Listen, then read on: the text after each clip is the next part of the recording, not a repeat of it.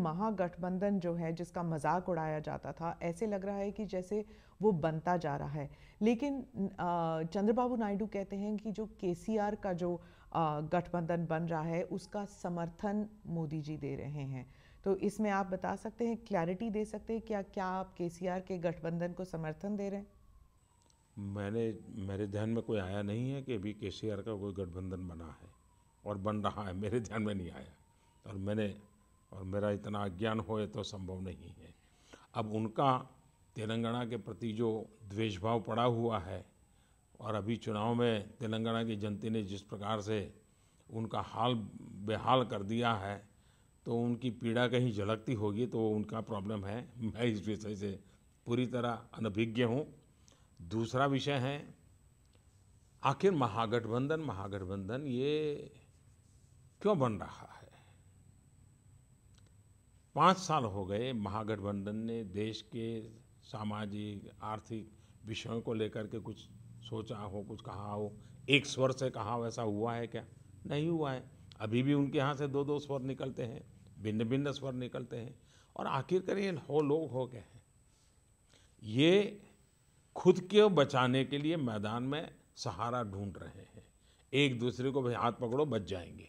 तो ये खेल चल रहा है।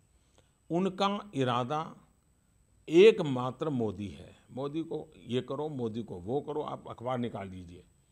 पहला पेज तो एक नेता बोलेगा, मोदी ऐसा है, मोदी वैसा है। दूसरा पेज, दूसरा नेता बोलेगा, मोदी है, मोदी वैसा है।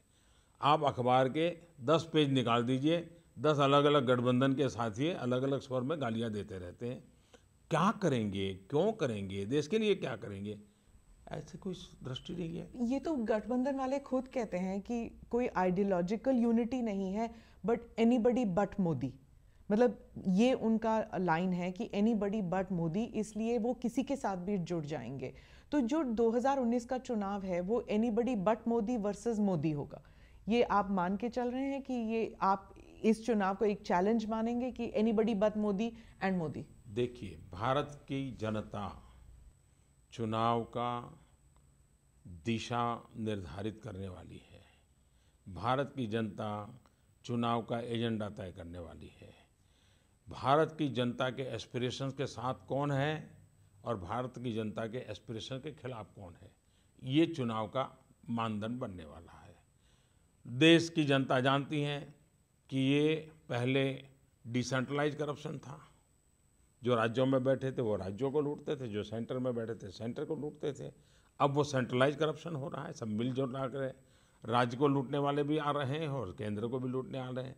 तो देश की जनता तय करेगी कि ये सब लूटने वालों की ताकत इकट्ठी हो रही है, उसके साथ जुड़ना है कि नहीं जुड़ना है। और इसलिए जनता वर्सेस गठबंधन होने वाला है। मोदी तो जनता जनार्दन के प्रेम और आशीर्वाद का प्रतीक है और कुछ नहीं है। तो आप तो बहुत ही हम्बल हो रहे हैं इस मामले में, क्योंकि राजनीतिक विशेषज्ञ तो कह रहे हैं that it is going to be like a presidential election जहाँ पर मोदी एक तरफ़ और राहुल गांधी एक तरफ़। आप क्या कहेंगे? मानेंगे? मैं स्पष्ट मानता हूँ कि इस बार का चुनाव देश की जनता की आशा आकांक्षाएँ, उसको बढ़ाएगा कौन? वो जनता तय करेगी। उसको नहीं बढ़ाएगा, रुकावट पैदा करेगा। सत्तर साल का अनुभव क्या है? वो भी जनता तय करेगी।